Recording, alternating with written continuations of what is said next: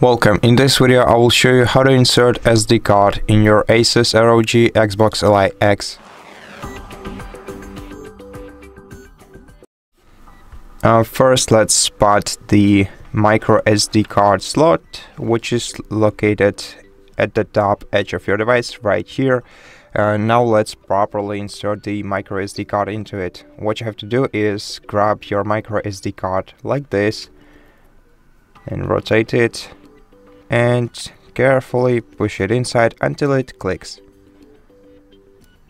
Once you hear the click, your microSD card is inserted and now you can check it in your file explorer.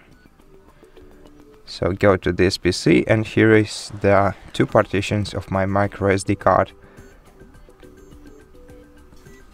And now to remove it, just push it slightly inside with your fingernail tip until it clicks and it will jump right out.